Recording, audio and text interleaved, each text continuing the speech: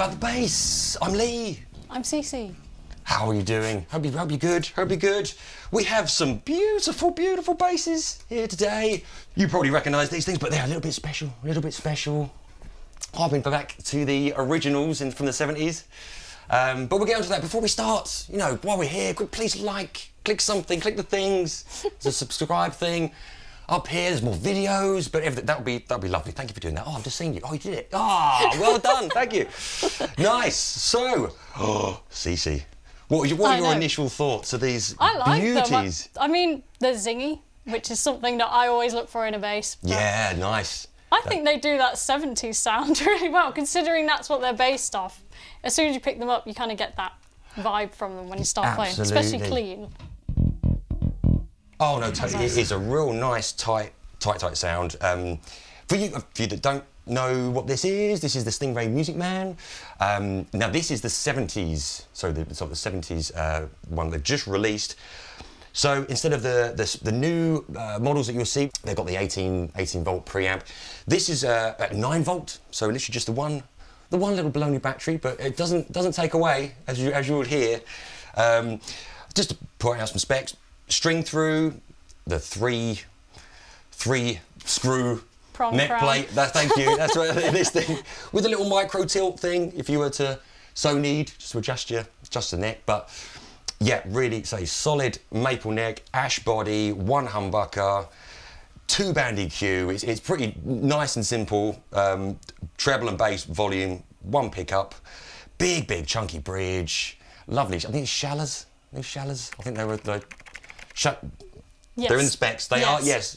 Schaller um, tuners there.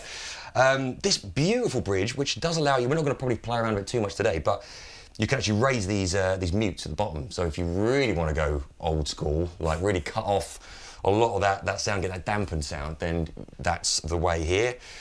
Um, but the, the, weight on these are really nice. I was going to comment on that because yeah. whenever I hear ash body, I'm like, that's going to weigh a ton. Totally. But it actually doesn't. No, it's really, really lovely. Really, really nice. And I think actually just remembering a few years back when they brought out um, a similar sort of uh, 70s reissue, as it were, they did come out and they were like, ooh, okay, Yeah. there, there we go. That's that, that solid, solid ash body. But this is really nicely balanced. I was going to say, yeah, no neck dive. No, no, this is it.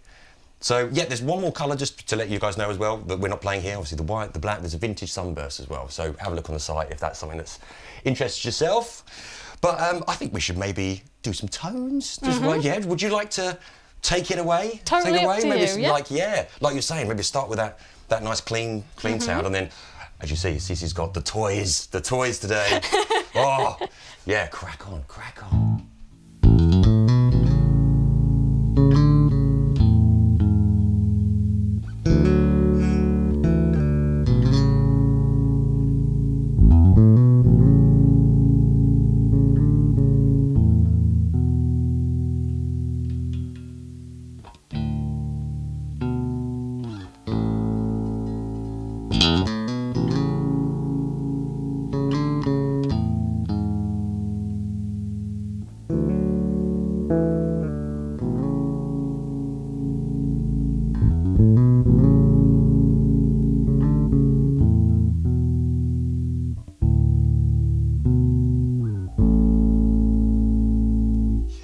Sounds nice, whatever you do with it. So, Hey, you, yeah, and you're playing with like dipping yeah, in yeah. the bass and I- out of there. Yeah. That's I mean, lovely.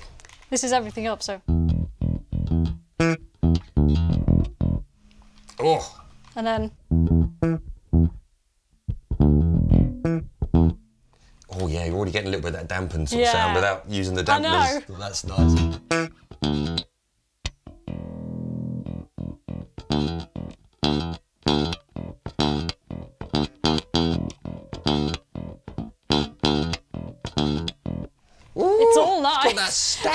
Stanky. It's brilliant. And uh, yeah, that, uh, one thing. How are you finding um, resting your fingers? Because that's the Yeah. only thing that's always I've never got used to. Really, because coming from jazz basses, I'm like, I know. Where's the pickup to rest my finger on? See, I've been having a similar thing. Um, when I started playing, I actually played more towards the bridge. yeah. But over the years, I've actually, I prefer playing closer to the neck. And now that's not there, I keep finding myself going drifting over. Yeah. Like, hang on a minute.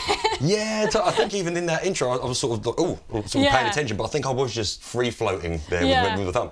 Um, it's the um, the different string tension as well when you're playing by the bridge. Oh, totally, yeah, totally. Yeah, you can get like, as you said, if you're right back here. I mean, it is nice and comfy to rest. Yeah. The thumb down here, but you're saying, yeah, that, that extra tension down the Yeah.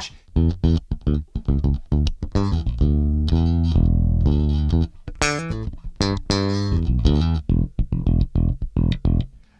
It is a nice tight sound, but yeah, I'm, I'm exactly like yourself. I was, Yeah, you start drifting over. yeah, totally. And there's such a difference in sound. You, you, you guys are probably playing around with this as well, guys and gals, but like, even just to give you that example. You can hear Yeah. that tightness, like, you know, improving as you go down to the bridge. But th- there are gizmos you can get now as well. I've seen these. I've got, you know, you can literally get thumb rest and things. If you did feel that, you know, you needed to rest somewhere, you can get those things to add um, as a bit of a modification. Oh, Yes! oh, that was a good one. A bit of a modification. You may add a thumb rest if you so wish. That was better. um, so yeah, we also just just talking like right, who, you know, who made these famous? Obviously, there's yeah, Louis Johnson, Louis Johnson, um, Bernard Edwards from Chic, from that sort of 70s area, uh, uh, sort of style. A lot of the slap thing that was really sort of starting at the time. Now, I'm, I'm no slapper, to, be, to be fair. Um, but I'll give you a go, just so you've got the, the, the, the tone, right? The tone. Nice and clean. Okay, right, so bear with me.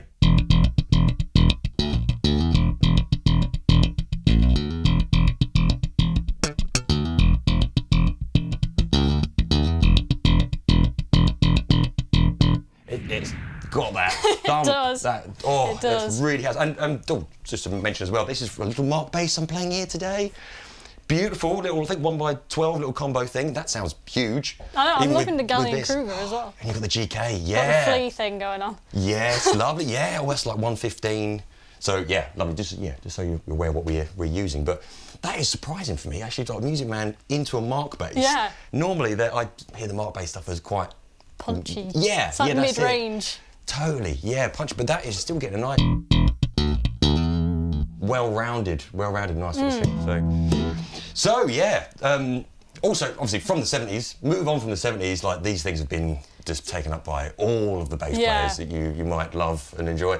So, um, You got uh, Tim Commerford from Rage Against the Machine, which is a classic. Oh, we were Like, just. I, uh, I'm do it, sorry, but it, it's gonna do it. have to happen. You got to do it.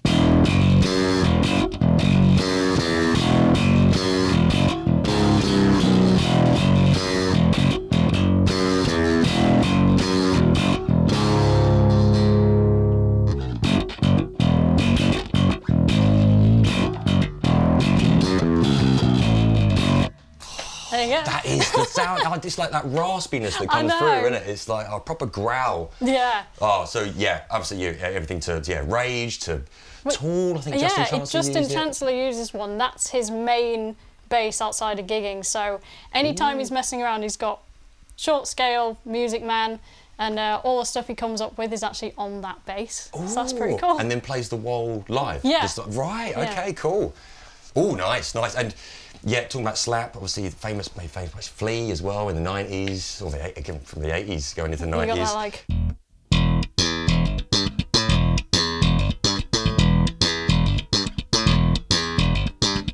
Nice. had yes. to happen at some point in the video. Yes, absolutely. Oh, have you, you heard them play that live? How- Yeah. How fast that gets? That's just nuts. Absolutely nuts. Um, so yeah, I, I basically, yeah, you can use this for anything really. Obviously, this is a 70s style bass. Um, we'll give it a bit of a bit of a vibe in the jam, just just uh, so, some 70s funk-ish, you know. But as we're saying, yeah, this can be used for anything, and that for me is where my ear like sort of attaches to that Yeah. rock sound with, with the Music Man is is huge, is huge. So um, yeah, so we do want to have a have a little experiment. I might just Yeah, have a go for it. have a little little more play, like just just say bang the treble off on this.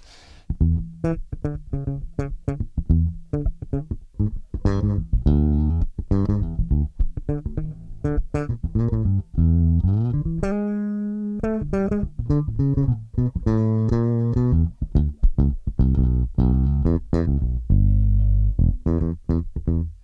that is such a percussive sounding bass. It it's is- really nice. Yeah, it really the response with your fingers, all those little ghost notes, and Yeah. really do punch through nicely.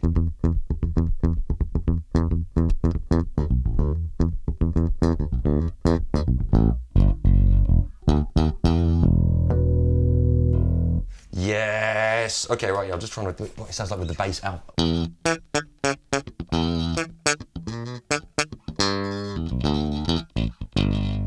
Ooh, it's not so much fun, to be fair. you need a little bit of that.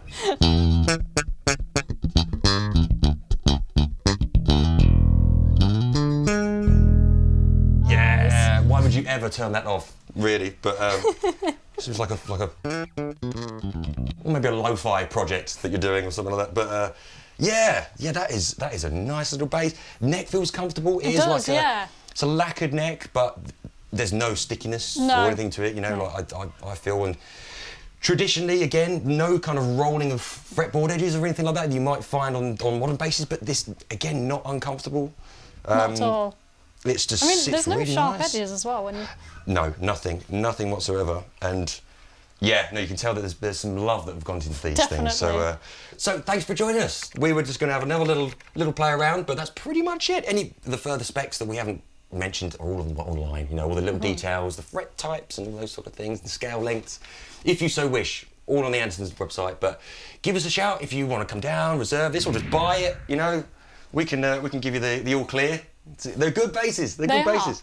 So um, on that, yeah, thanks for joining us. Please like, like and subscribe. Oh, you did it earlier. I saw you. Ah, no, sorry, it's already done. Great, Lee sees all. I do, I do, I do.